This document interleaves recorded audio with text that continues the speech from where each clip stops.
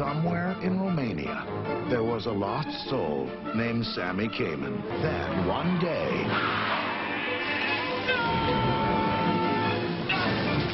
Sammy ran into something big, something no one had ever seen before.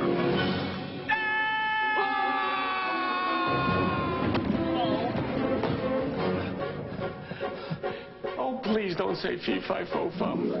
You eat. I'll just pick. I find people to be in movies. They pay for this? They're so stupid. You've been talking to my father, haven't you? Yes! I have a question. Yes, Amber. How big is your... I would like to know.